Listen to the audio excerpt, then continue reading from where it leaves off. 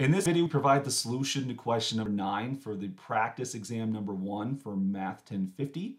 We are given the function capital F of x, which is the fourth root of x squared plus one. And we're told that little f of x um, is the fourth root of x. Notice here how there's little f and capital F. In mathematics, uh, symbols are case sensitive. Little f and capital F are in fact different functions.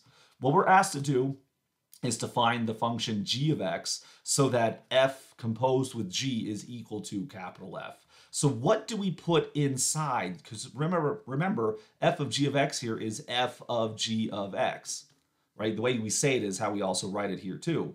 And f of x is the fourth root of g of x.